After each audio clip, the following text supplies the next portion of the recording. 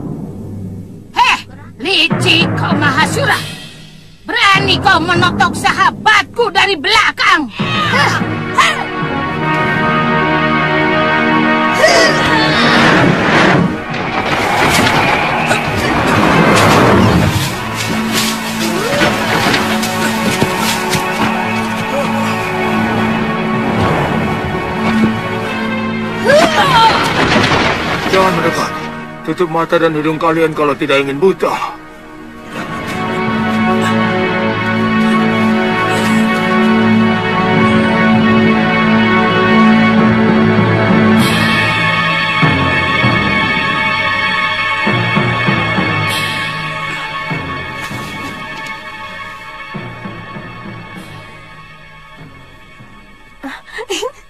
Bapak!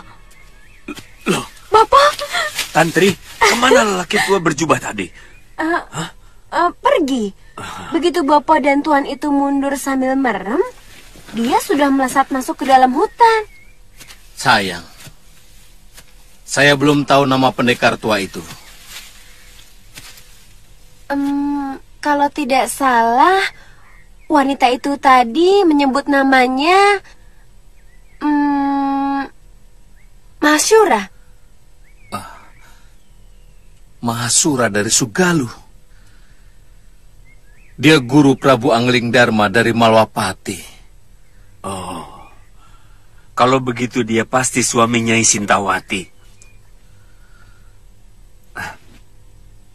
Ternyata dia masih hidup. Tuan kenal istrinya. Iya, Eh, jadi eh, eh. Ah.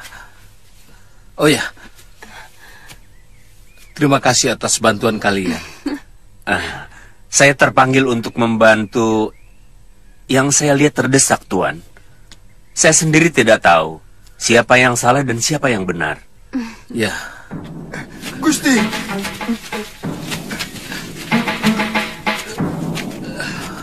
Dua orang tewas Gusti Adipati. Kebumikan mereka. Baik Gusti.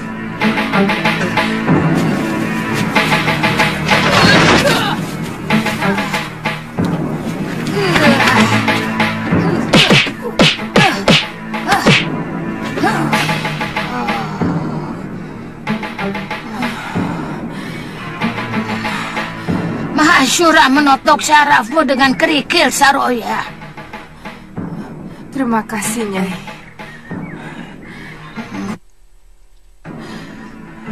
Suatu saat, lelaki jompo itu akan kusiksa seberat-beratnya.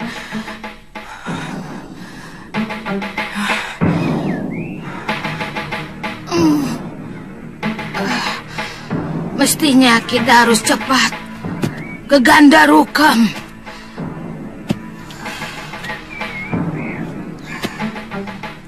Hmm, Nila, aku yakin pendekar tadi pasti menuju ke Kalinggapura. Saya lihat Nyai muntah darah. Ya, tapi tidak terlalu parah. Aku harus mencari kitab Dasendria Warna Jingga ciptaan Kakang Suryapati. Barangkali kitab itu sudah di tangan Mahasyura. Tidak. Empu Mahasyura tidak pernah tahu tempat terakhir Kakang Suryapati melakukan tapa brata untuk menjemput Pati. Nyai tahu.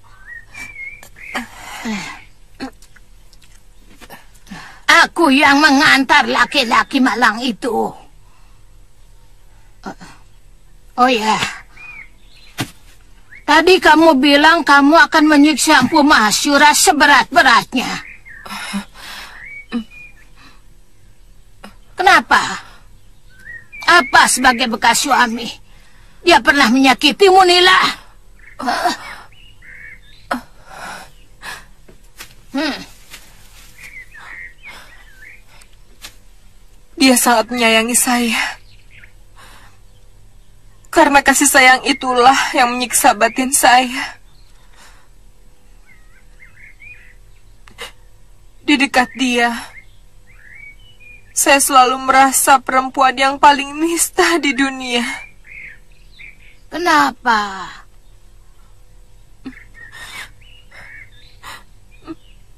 Saya telah menipu dia. Sebenarnya, anak yang aku kandung bukan anaknya. Tapi titisan sudah mani. Kemudian saya berkomplot dengan adik Kakang Masyura. Pokoknya, saya telah melakukan perbuatan yang paling nista dan berkhianat padanya. Kenapa kamu lakukan? Saya... Saya merasa iri. Karena istri kakang Mahasyura lebih cantik daripada saya. Dan saya tahu Dewi Sintawati lebih mencintai suaminya. Dan saya takut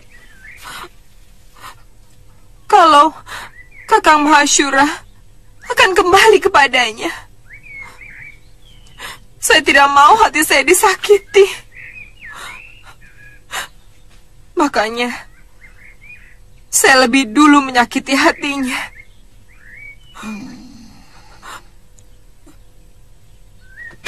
Nah, kamu pernah cerita. Kamu telah mencuri kitab pusaka perguruan Sugalo. Kenapa? Karena saya tidak rela. Kitab itu diwarisi oleh Dewi Sintawati. Malam itu, saya membantai semua murid-murid Padepokan Sugalu. Di saat Kakang Mahasyura sedang pergi bersemedi. Kami bisa dikantung. Walau selembar benang pun hilang dari bilik pusaka itu. Maaf, berikan kepada kami buntalan itu, Nyai. Dewi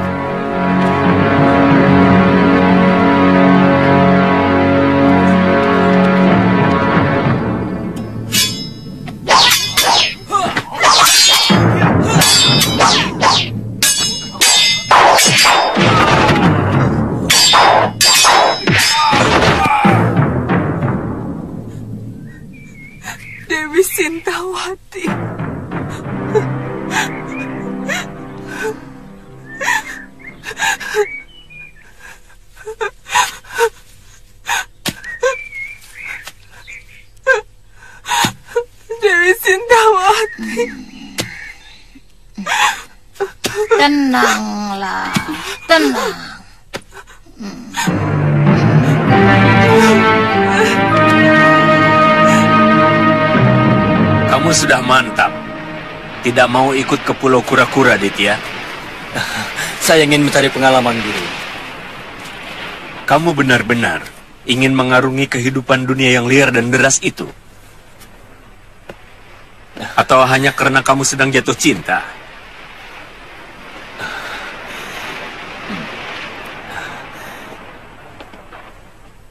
Terus terang, saya tidak bisa melupakan wajah Kaliana Tantri. Ma- Maafkan saya, Guru.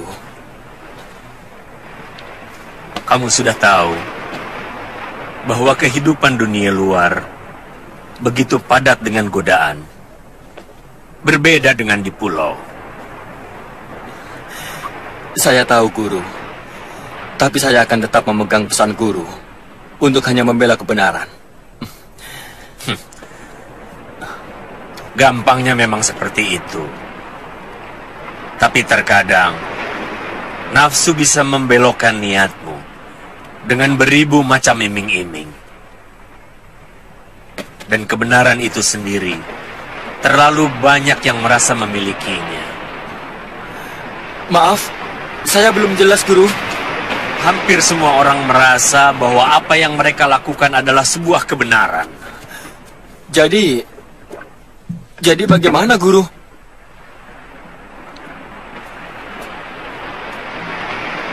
Artinya, kebenaran dan ketidakbenaran ternyata hanya masalah dari mana kita memandang. Artinya, kebenaran itu sendiri sebenarnya tidak ada, Guru.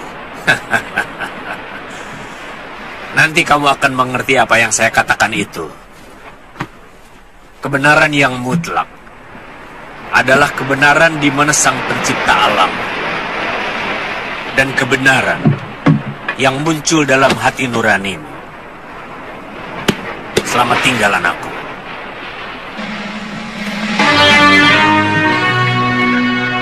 Selamat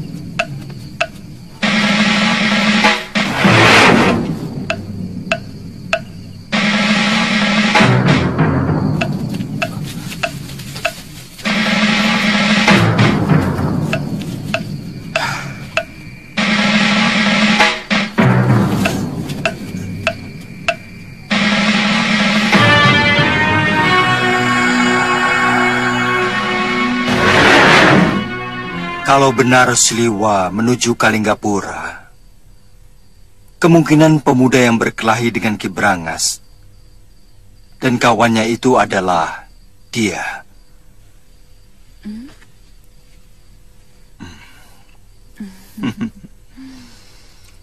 Kata prajurit yang melihatnya, kedua pendekar jahat itu membawa kabur Siliwa. Jangan terlalu cemas, Lu. Siliwa sudah menguasai hampir semua ilmu dari Padepokan Sugalu.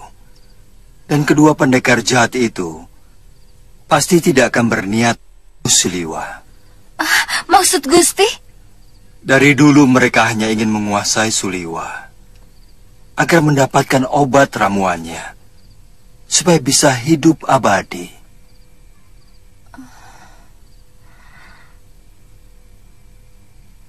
Saya kira kejadian di Kalinggapura dengan di Malwapati ada kaitannya dengan Kanda Prabu.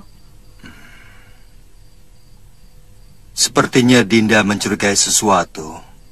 Iya, kejadian di Malwapati hanya sasaran antara untuk memancing Kanda Prabu pulang. Sementara itu, musuh-musuh Pangeran Danurweda akan menyerang Kalinggapura.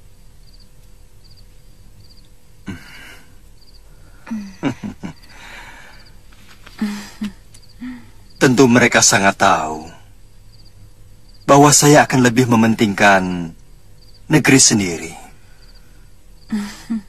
Pendapat Gusti Prameswari sangat benar, Dinda Prabu.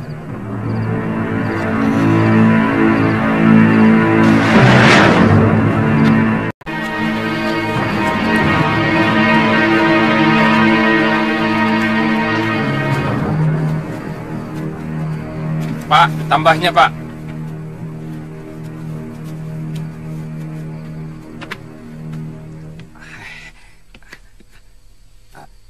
Tuan. Ah, Tuan. Bagaimana pengamatanmu, Kakang? Ternyata orang-orang itu memang suruhan Rake Pancer. Pengikut setia bekas Menteri Giriwara. Dan mereka sedang menyusun kekuatan di Pakuan Gonorukam. Siapa saja yang berada di sana? Banyak pendekar tua. Di antaranya ada Kiparona Waja dan Nyai Durgandini. Durgandini? Hmm. Pendekar dari Rawa Bangkai. Ah. Kakang Mahsura harus segera diberitahu.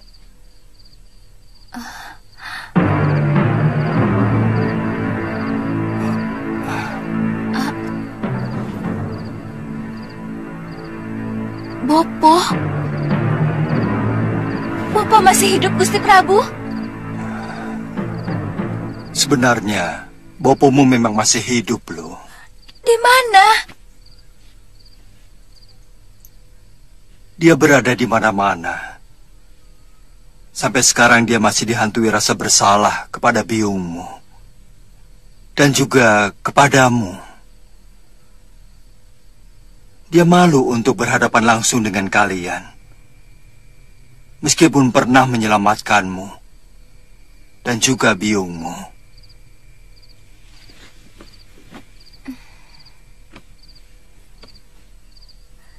Kapan? Saya tidak pernah merasa ditolong. Pendekar yang bertopeng itu.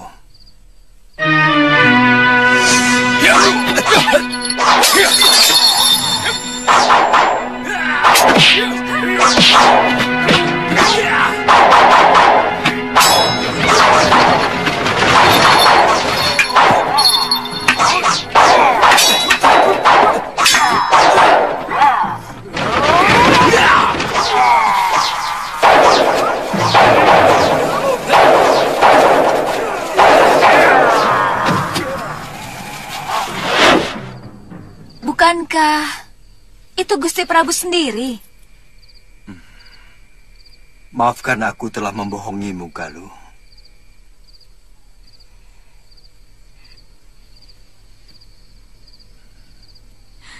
Semua ini karena permintaan Bopomu untuk merahasiakan keberadaannya.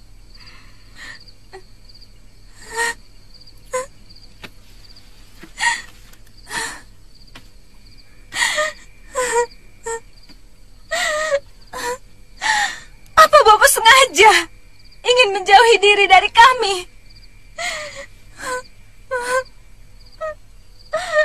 Bopo. Sebaliknya, lo. Dia sangat ingin menemui kalian. Tapi tidak memiliki keberanian.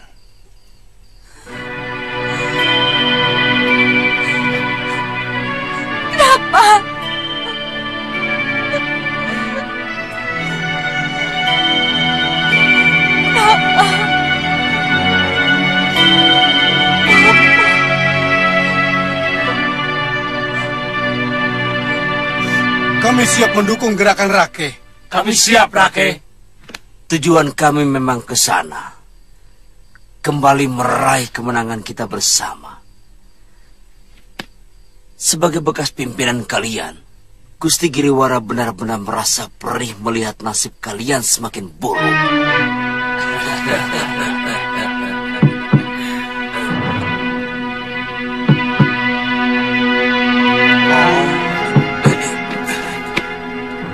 Kawan sendiri, Rake. Ayo suruh masuk. Masuk, Rabda.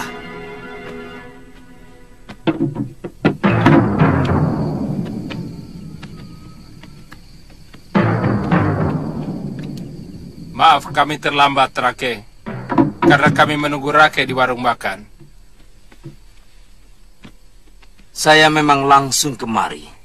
menghindari begitu banyak mata yang kenal saya. Bagaimana dengan hasil kerja kalian? Ada tiga penatus yang sudah sepakat akan membelot pada saat perang dimulai. Yang penting, prajurit Rake harus tahu semua rencana itu. Oh, tentu. Saya akan mengirim telik sandi yang akan menghubungi kalian kalau pasukan kami sudah bergerak. Silahkan duduk.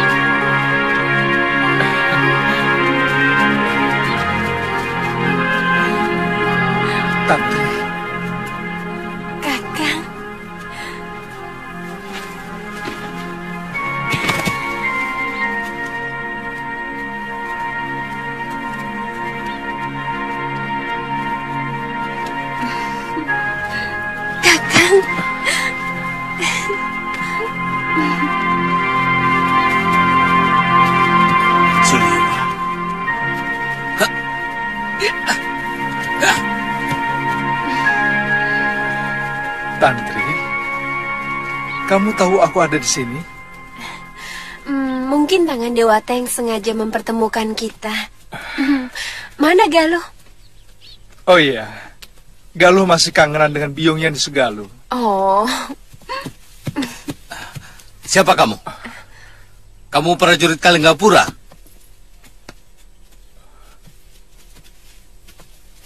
Bukan, Tuan. Saya hanya sekedar diberi kehormatan oleh Tuan Kertapati untuk tinggal di kesatrian. Saya seorang tabib, Tuan. Seorang tabib tinggal di kesatrian? Iya, mungkin kalau sewaktu-waktu dibutuhkan untuk mengobati prajurit yang terluka, Tuan. Ya sudah.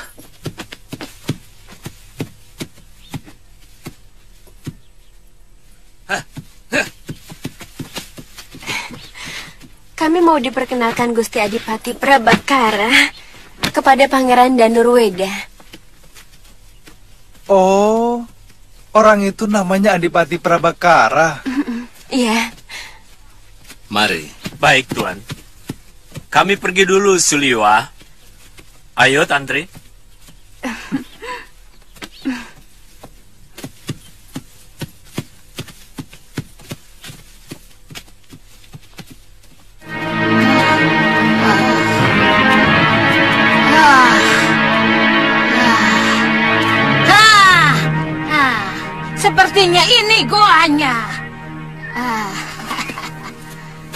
Bagaimana Nyai yakin Pangeran Suryapati mengakhiri masa hidupnya di tempat terpencil seperti ini? dia pernah mengutarakan keinginannya padaku untuk menebus dosa di sebuah goa di dalam alas purwa. Ah.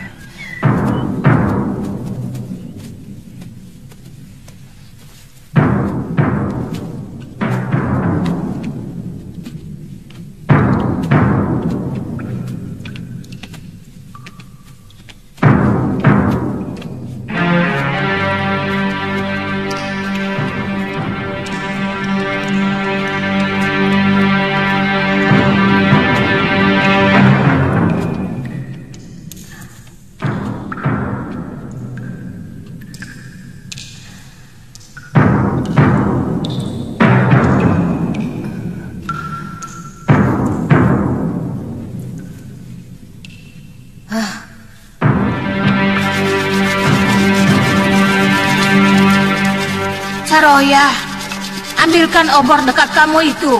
Cepat.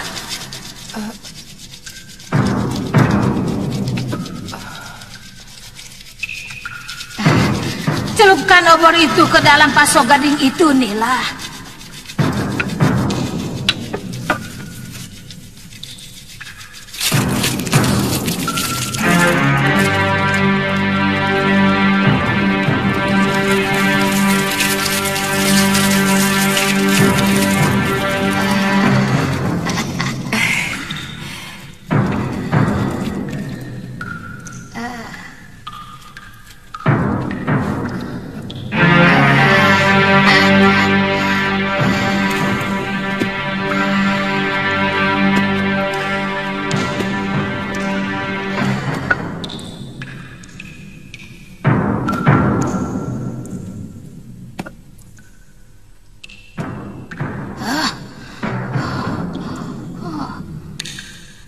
Suryapati masih hidup. Diakah Pangeran Suryapati itu, Nyai? Dulu dia pangeran yang paling tampan yang pernah saya temui. Banyak gadis-gadis, bahkan putri-putri raja tergila-gila kepadanya.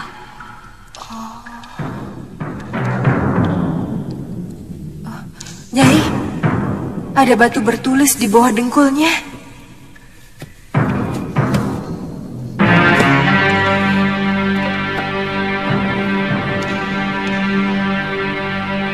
Tataplah wajah dan tubuhku.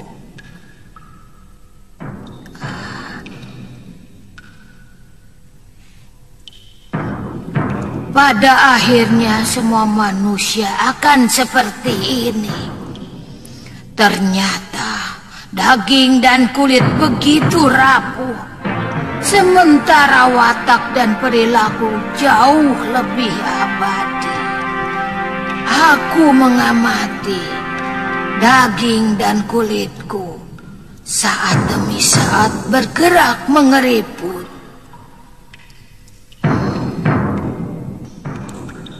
Bagi yang menemukan surat ini, timbunlah tubuh keriput ini dengan kayu dan bakarlah.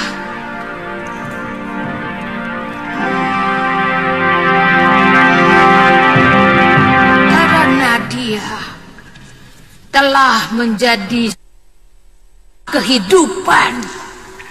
Hmm.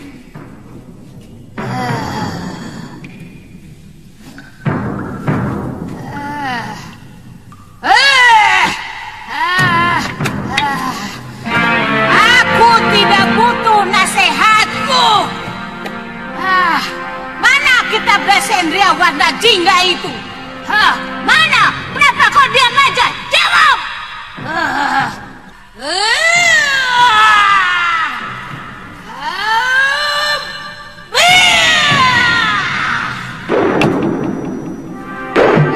Nila, cepat bantu aku mencari kitab Desendria itu. Nanti kau kuperbolehkan mempelajari isinya. Ayo, ayo, cepat. Ah, Di sini tidak ada.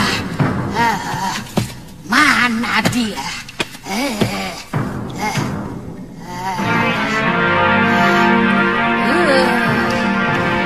eh, ah.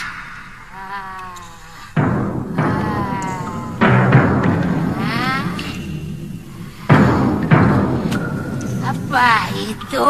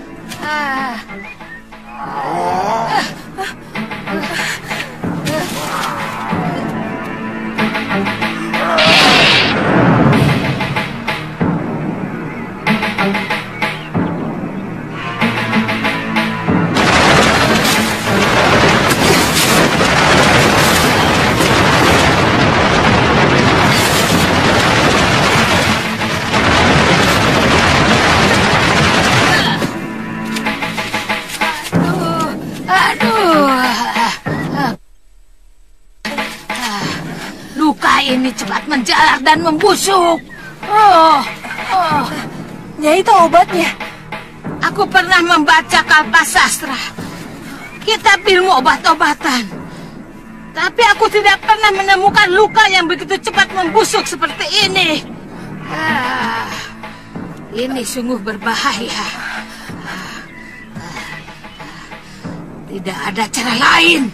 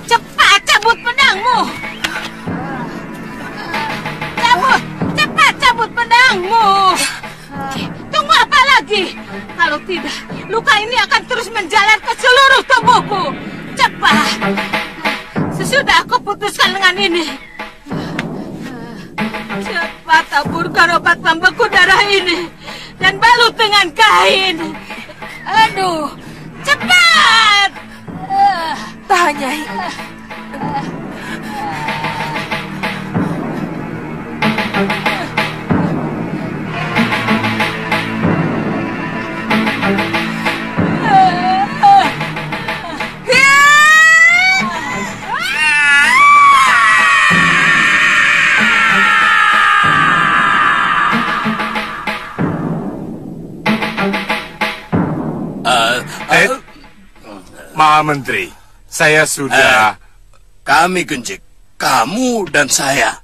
Iya, kamu dan saya. Kami sudah melakukan pengamatan dan pengacauan di Kalinggapura. Kelihatannya negeri itu lemah pengamanannya. Kami kira dalam sebuah gebrakan secara mendadak, negeri itu akan lumpuh, Ma Menteri.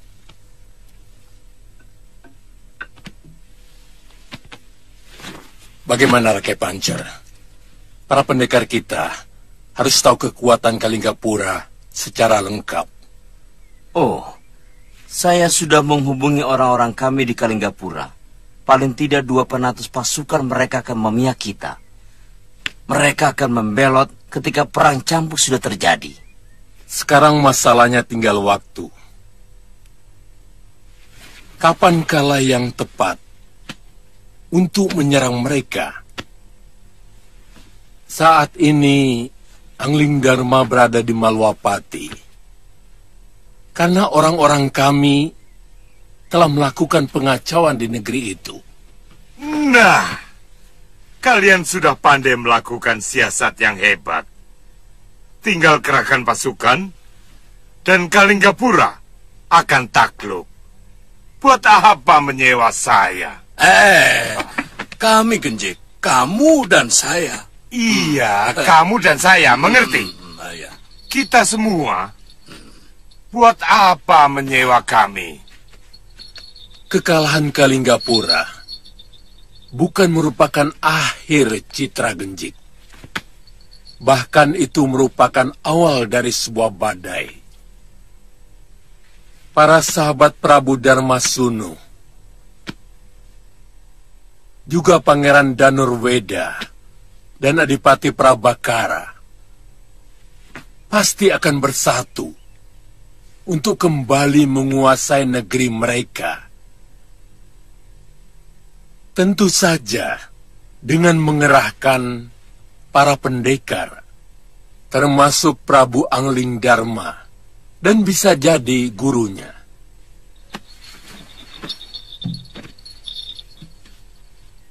Seperti yang Tuan katakan tadi, pasti akan turun gunung.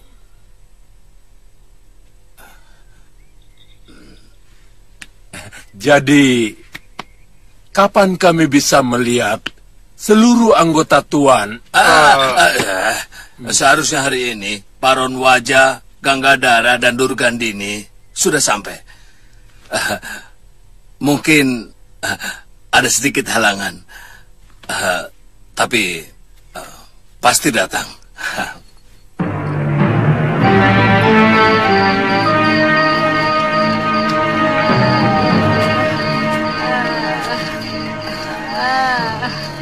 Lebih baik kita kembali ke rawa bangkai, Nyai.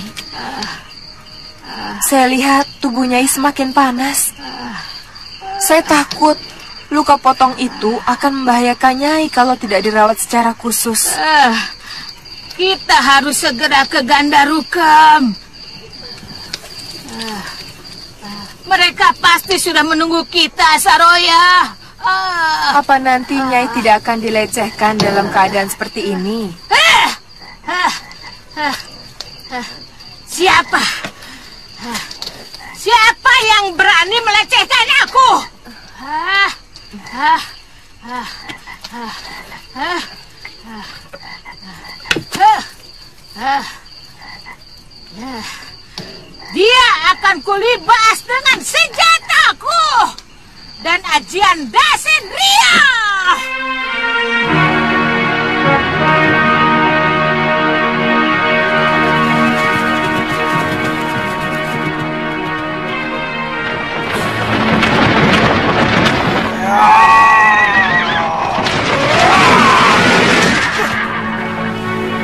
Ah!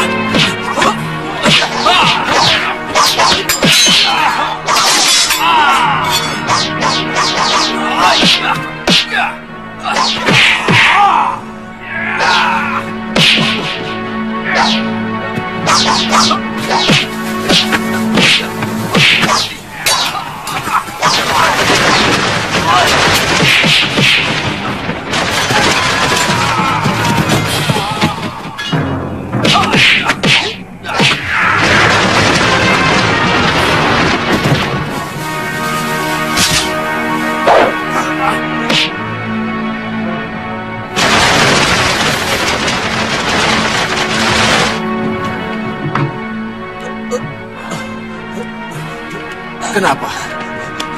Kenapa kamu? Ampun, ampun Gusti, ketiwasan Gusti. Kami diserang orang dan rakyat panser pun dibawa kabur setelah dikalahkan oleh orang itu. Berapa orang? Seorang diri Gusti, tapi kesaktiannya sangat luar biasa. Rakyat panser pun menjadi bulan-bulanan. 啊，呃，呃，哎。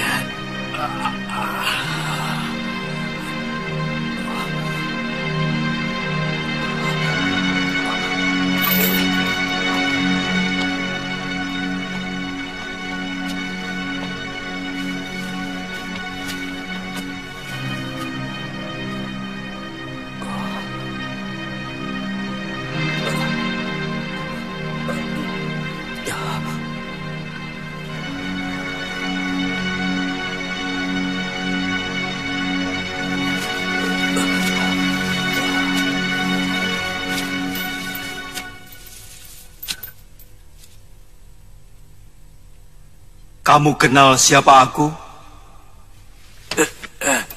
Sebagai raja, aku sangat menaruh belas kasih terhadap seluruh rakyatku. Sehingga siapa pun yang berani menyakiti rakyat Malwapati akan berhadapan dengan ketegasanku. Hukumanku. Kenapa kamu mengirimkan orang meracuni sumur-sumur penduduk dan merampoki rakyatku?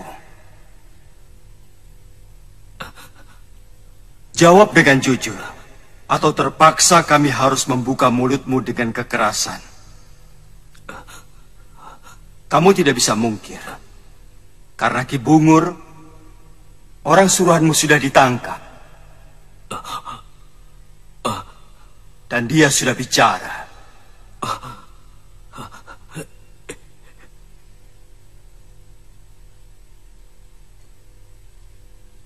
Eh, jangan kamu pikir undang-undang Malwapati itu lunak. Makin besar kesalahan, maka hukumannya pun akan semakin menyakitkan. Ya, Tapi kalau si pendosa mau menyesali dan mau bekerja sama, bukan tidak mungkin kami akan membebaskannya dari siksa penjara.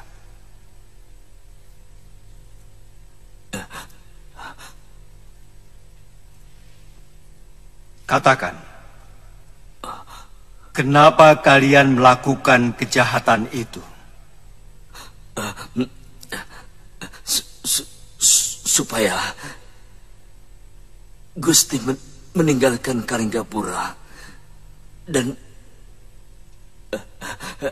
dan, dan Gusti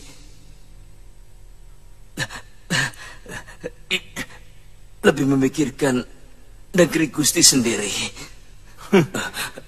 Apa urusanmu dengan apa pun yang kulakukan? Secara langsung, kami tidak punya urusan dengan Gusti Prabu. Tetapi terus terang, kalau, kalau Gusti Prabu melindungi Kalinggapura,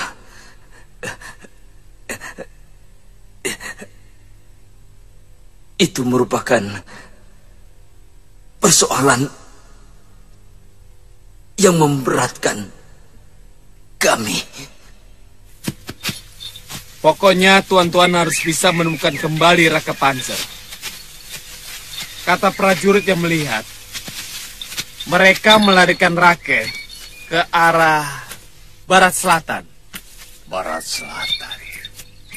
Itu ke arah negeri Malwapati. Ya, pasti ke sana. Dan pendekar yang menculik pasti Angling Dharma. Tuan, saya masih ingat wajah penculik itu, Tuan. Bagus. Kamu ikut. Kita bagi tugas. Kendrayana ke Gunung Kencana, jemput Paron Wajah dan Ganggadara. Ayo.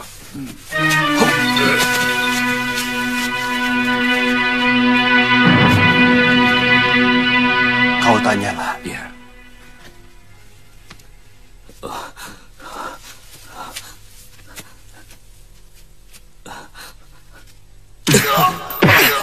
Siapa kamu sebenarnya?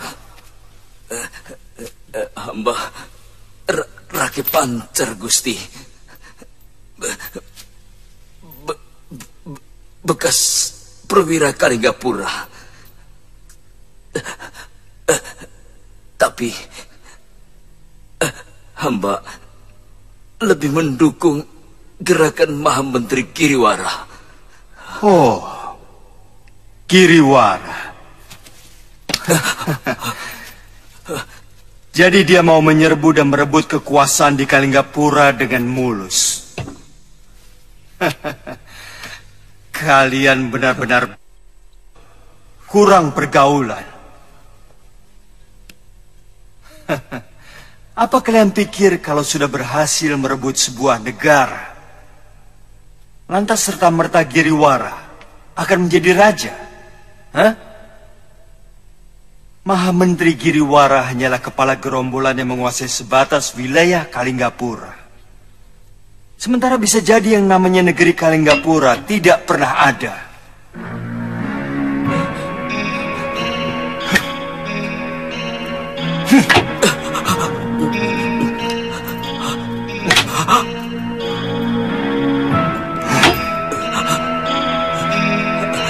Eh, hamba tidak mengerti Gusti. Hamba hanya menjalankan perintah.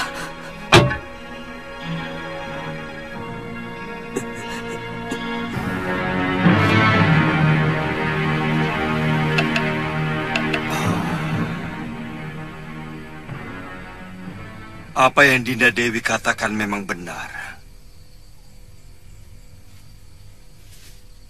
Semua kejadian di sini memang ulah Giriwara.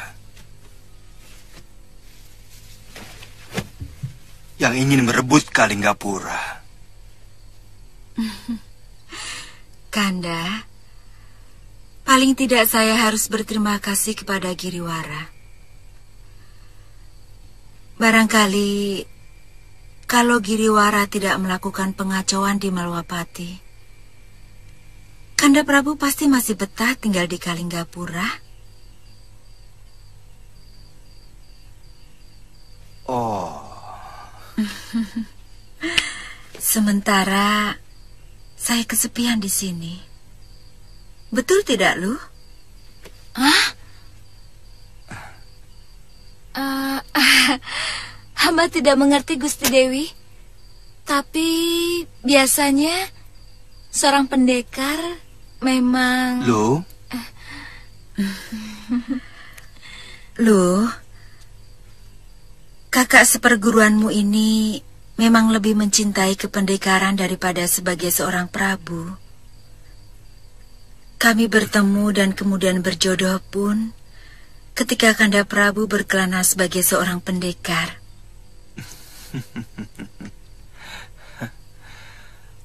Mudah-mudahan ini bukan bahasa lain untuk melarang Kanda membela Kakang Prabu Darmasunu yang sedang diguncang pemberontakan. Tentu saja tidak. Asal Apa?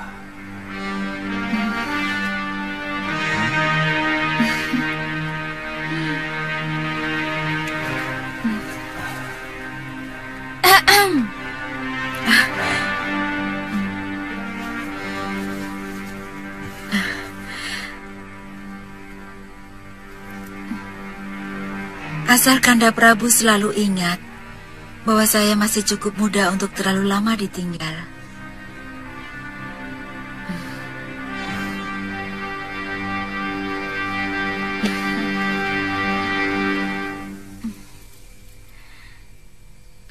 Eh, Gusti Prabu, Ada apa lu? izinkan hamba ikut ke Kalinggapura. Kakang Suliwa pun sedang berada di sana. Dia ingin menjadi tabib di negeri itu. Boleh.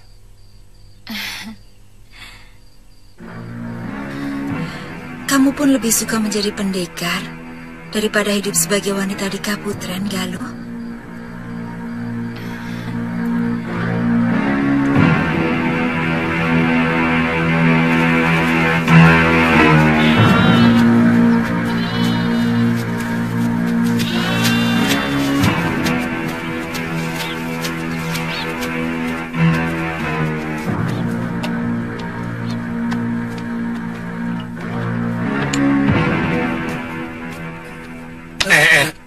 Duduk.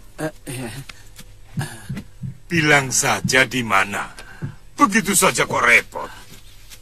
Maaf tuan-tuan, buat apa saudagar seperti tuan-tuan ini ingin melihat penjara? Loh. Ini barangkali yang tidak pernah dilakukan oleh saudagar mana pun. Penjara adalah ukuran bagaimana watak penduduk sebuah negeri. Kalau penjaranya penuh dengan pencoleng, perampok, artinya watak penduduk negeri itu tidak baik. Iya, iya. Tapi selama ini Malwapati selalu aman, Tuan. Kecuali beberapa pekan yang lalu, memang ada sedikit gangguan rampok di perbatasan. Nah, kan? Ternyata kecurigaanku punya alasan. Tapi setahu saya, penjara Malwapati itu selalu kosong, Tuan. Oh iya, paling-paling ada satu orang yang kemarin ditangkap oleh Gusti Pati Batik Madrim. Penjaranya ada di luar kota, kan? Biasanya penjara di setiap kota raja selalu ditempatkan di luar kota. Meski sebenarnya itu sangat berbahaya. Ya, bahaya itu. Tapi di sini lain, Tuan. Penjaranya ada di dalam bentengan istana bagian belakang sebelah barat. Benar-benar aneh kota ini. Sudah, sana pergi, pergi. Saya tidak tahu, Tuan. Dari dulu memang begitu.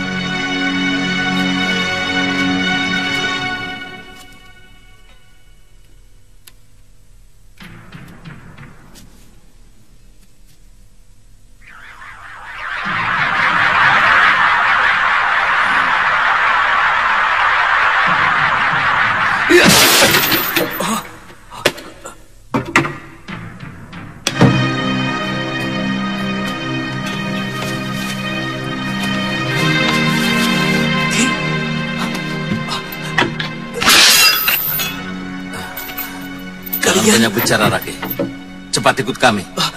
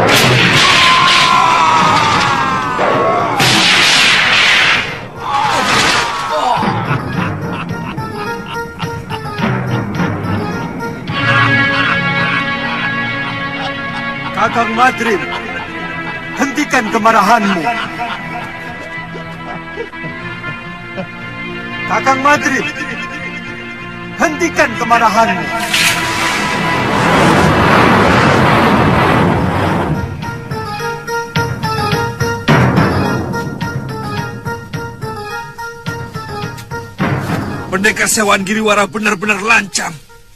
Berani memasuki kawasan kita dan membebaskan rakyat pancer. Bukankah itu hal yang wajar?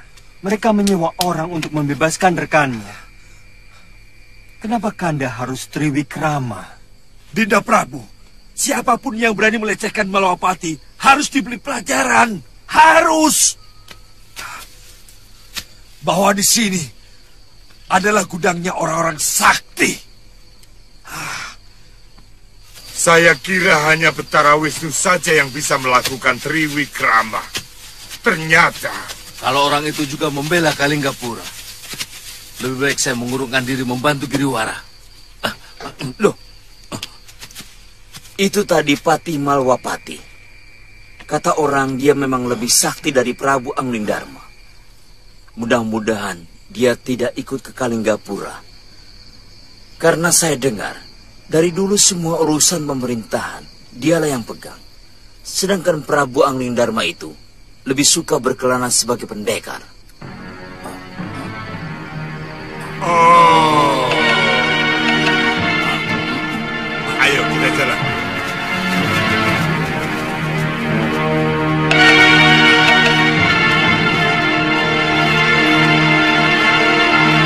Pokoknya kamu tidak boleh membuat malu aku.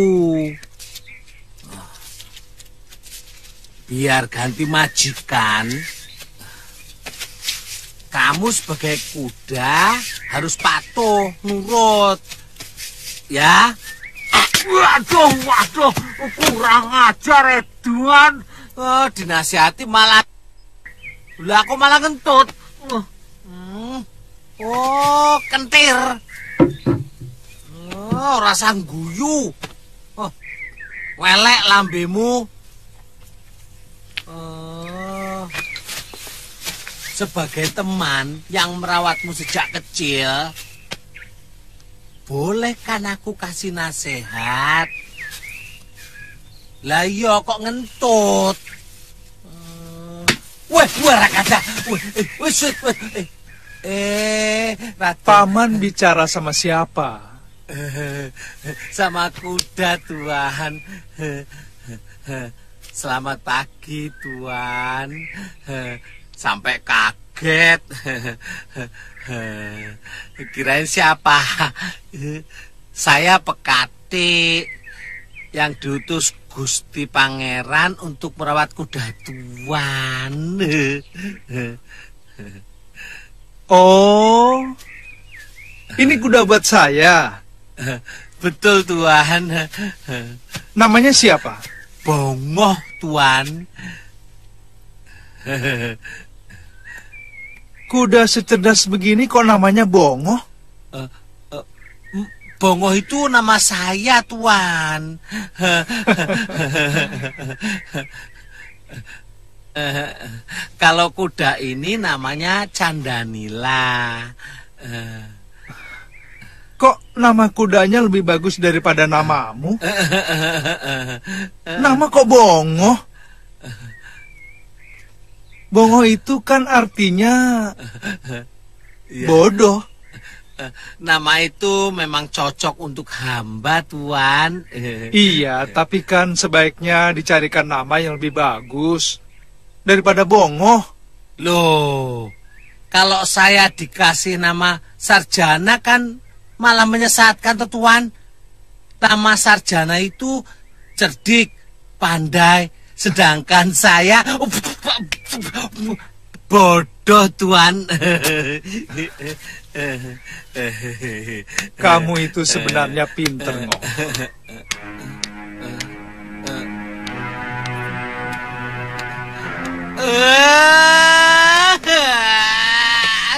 Kenapa, Ngok? Kok malah nangis? Saya terharu. Tuhan. Seumur hidup saya sebagai pekati, sebagai wong cile, baru sekali ini ditepuk-tepuk majikan.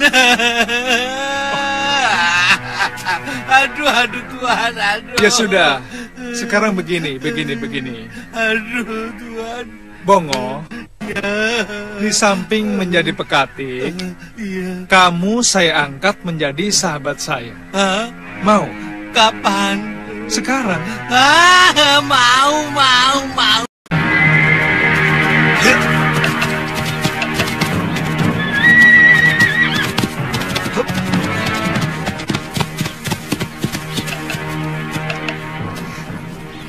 Masih jauh, Gusti.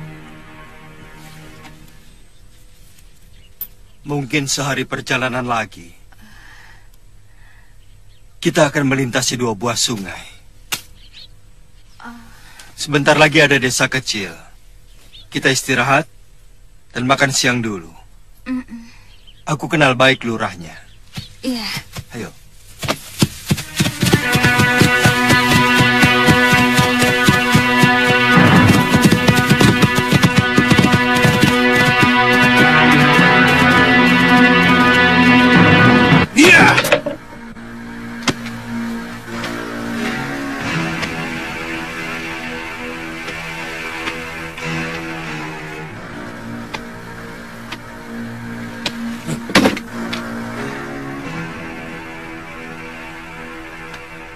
Pokoknya kita akan menyerang Kalinggapura. Apa pun yang terjadi.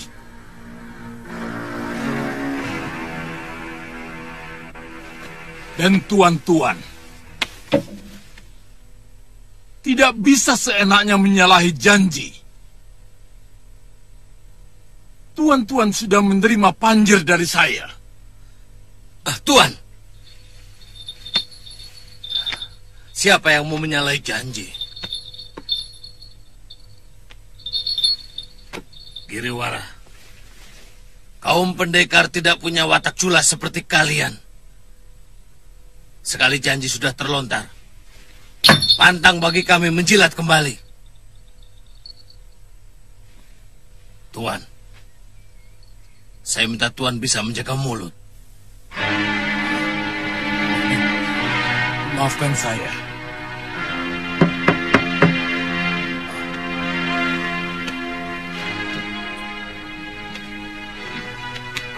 Maaf. Baron Aku Wajah. baru bisa datang, Kenci. Siapa dia Panjar? Kipar wajah, tetua dari kaum pendekar itu.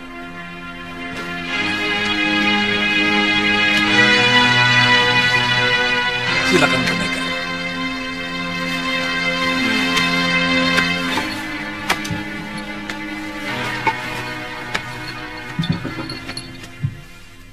Gangga darah rupanya sudah tidak mau lagi mengalirkan darah orang. Dia memilih menjemput kematian abadi. Tidak mau dilahirkan kembali ke dunia sebagai apa pun. Dia ingin hidup abadi di sisi para dewa. Itu kenapa dia lebih suka bertapa di pulau kura-kura. Ya, kalau begitu, tinggal Durkan Dini dan muridnya. Tunggu dulu. Aku belum menyatakan mau ikut atau tidak. Tuhan kemari, artinya setuju. Setuju.